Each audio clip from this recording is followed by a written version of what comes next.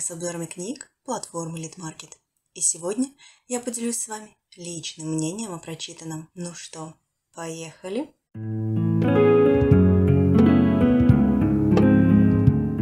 Книга опубликована на сайте Литмаркет в декабре 2020 года. Мы знакомимся с Витой, ее способностями, ее симпатиями, целями, желаниями и, можно сказать, что семейными тайнами. По ходу того, как Вита открывает себя все с новых сторон и открывает в себе неожиданные способности, мы ввязываемся вместе с ней в несколько приключений. И все это на фоне того, что за девушкой ведется охота. Зачем она нужна? Кому она нужна? Как вообще ее можно использовать и возможно ли ее как-то использовать? Ну и понятное дело, что да, есть также и вопрос, чем же она все-таки таким особенно. Но на все это шаг за шагом даются свои ответы. Вторая книга опубликована на сайте Литмаркет в сентябре 2020 года. И можно сказать, что это история попаданки Саши которая в итоге оказывается не совсем тем, кем может показаться с самого начала. Ведь с самого начала она кажется обыкновенной, простой попаданкой в неожиданный мир. Ну и понятное дело, что в этом мире ей придется жить. Его ей нужно будет понять и найти свое место в нем. Что в некотором плане она делает с успехом. Правда, не обходится без некоторых неприятностей. Если вообще это можно назвать неприятностями. Но в целом-то по ходу истории она не единственная, кто раскрывает свои тайны.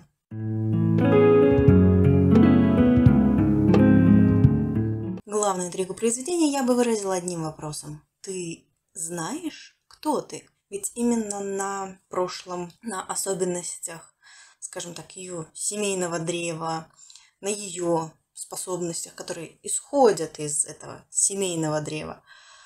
И завязана вся история. Вита постепенно раскрывается, она узнает свои новые способности, она пытается понять себя, она пытается решить порой достаточно сложные ситуации, сложные конфликты. Она старается сделать так, чтобы в целом-то все были счастливы. Получается это у нее или не получается, это понятное дело. Совершенно другой вопрос. Но свою толику счастья Вита тоже находит. За что нельзя не порадоваться. Здесь главная интрига, на мой взгляд, тоже не сильно далеко уходит от предыдущего произведения. Но я бы сформулировала вопрос немножечко по-другому. Что скрывает твое прошлое? Ведь когда мы видим Сашу, нам сразу дается понять, что ну, с ней не все так просто. А потом, когда раскрывается вся ситуация, и нам дается понять, что она на самом деле попаданка, стоит держать в уме, что девушка не так проста. Причем она сама это не до конца понимает. Точнее, она этого даже не понимает, потому что она просто не помнит. Она не помнит, что с ней было до того, как она появилась в этом мире. А следовательно, она не может знать о том, есть у нее какие-то способности или нет.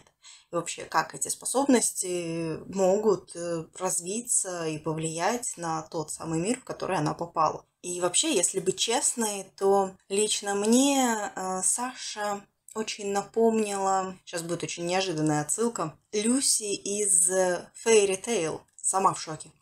Понятное дело, что не все знакомы с этим аниме, не все знакомы с этой мангой, но, по-моему, они все-таки немножечко похожи. Обе честные, обе открытые и обе ценят э, своих друзей. Я уже молчу про то, какое влияние гильдия производит на обеих девушек. Вот так вот можно найти неожиданные сходства в неожиданных местах. Кто б знал. Но если отходить от каких-либо схожестей, то в целом мне понравился финал. Мне понравилось, как раскрыли способности Саши. Мне понравилось, как раскрылось ее прошлое. И стало понятно, откуда же все-таки она прибыла. Ну и не стоит сбрасывать со счетов не только то, как на нее повлияла гильдия, но и то, как она повлияла на одного очень интересного персонажа.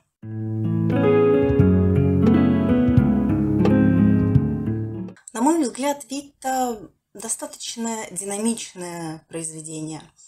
Да, там есть э, моменты спокойствия, есть э, ситуации, где просто сложно оторваться от э, того, что происходит, и интересно узнать, а что же, что же произойдет дальше, удастся ли героям убежать, удастся ли им спастись. Ну и понятное дело, что герои тоже живые, в них несложно поверить. Многие из них оставляют свой отпечаток в жизни Виты. Ну и лично мне было также интересно наблюдать за тем, как развивались ее романтические отношения. Кто проявлял к ней симпатию, кому она проявляла симпатию, как зарождались чувства, во что это в итоге вылилось.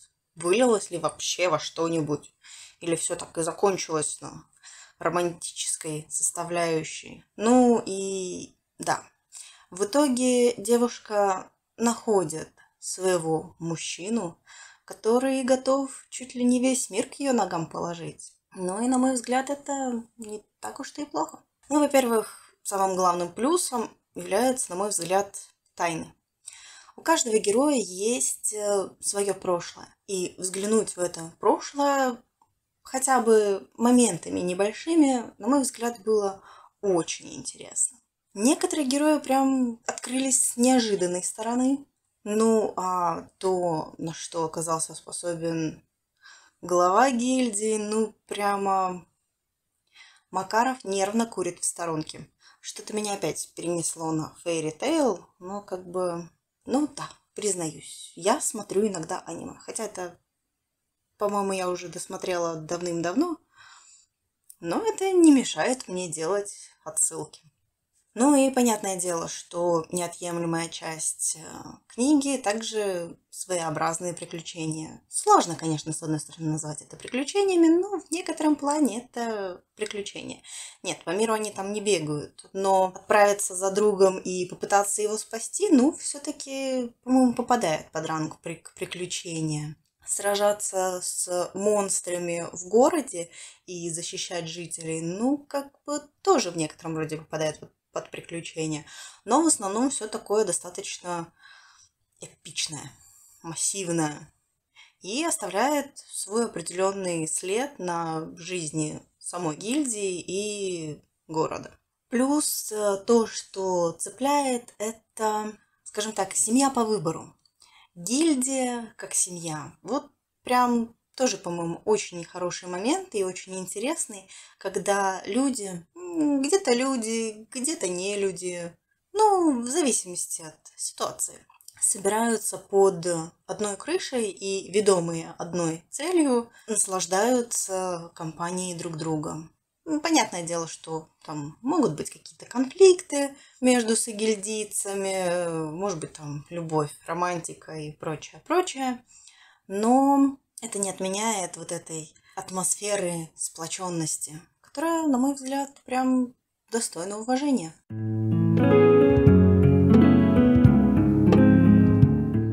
Ну, пожалуй, главная схожесть у обоих произведений – это главная пара героев влюбленных. Или влюбленных героев. В общем, не суть важно. Каждая из главных героинь находит своего неповторимого мужчину, который способен действительно к ее ногам положить чуть ли не все, что он перед собой видит. Вышло как-то очень туманно. Скажу проще, он готов сделать для нее все, что угодно, даже если для этого потребуется разорвать время и пространство. Он это сделает. Просто потому, что она в опасности, и он обязан ее спасти. Понятное дело, что в таком случае возникает лично у меня вопросы по поводу чувства собственничества. Но если это действительно сильный и властный по-своему герой, то ну, от этого никуда не деться. Также не стоит отметать в сторону по поиск героинями себя.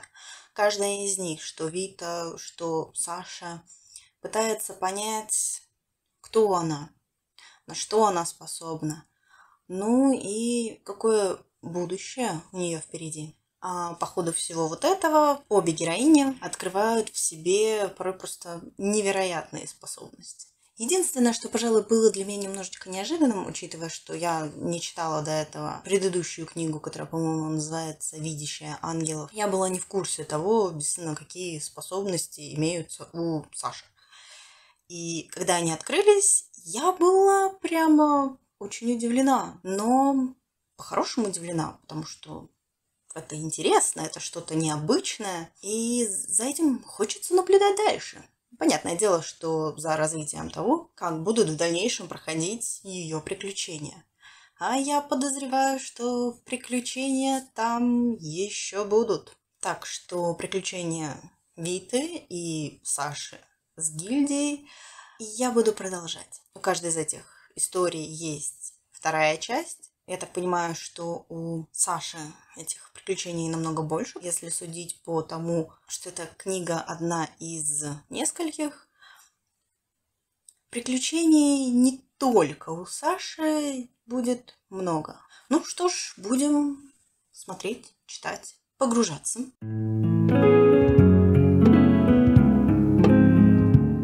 Выбор, как всегда, в любом случае будет за вами. Но да, я бы посоветовала прочитать оба произведения. Если бы я бы не советовала читать произведения, я бы, пожалуй, не делала бы видеоотзывы. Ну или вообще бы не писала отзывы. На мой взгляд, э, каждое из произведений достойно внимания. Они по-своему легкие, по-своему увлекательные, по-своему романтичные. И да, есть в обеих книгах очень важные вопросы, которые поднимаются в тех или иных ситуациях. Так что, если вам понравился данный обзор и стало интересно познакомиться с этими книгами, переходите по ссылкам в описании. Если вдруг вас еще нет на Литмаркете, регистрируйтесь и читайте интересные истории Вита Надежды Черпинской и «Не ангелы» Ольги Вилар. Главное, не забудьте поблагодарить авторов за их труд. Если вы напишите хотя бы простое «Спасибо», плюсик в карму вам гарантирован. Ставьте видео палец вверх и не забудьте подписаться на канал, а также нажать на колокольчик, чтобы не пропустить новые обзоры, которые выходят каждую неделю. Точнее, выходить они будут каждую неделю до середины декабря. Потом середины декабря до середины января 22 года у меня будет такой своеобразный отпуск. Ну и праздники там, все такое. Благодарю за просмотр.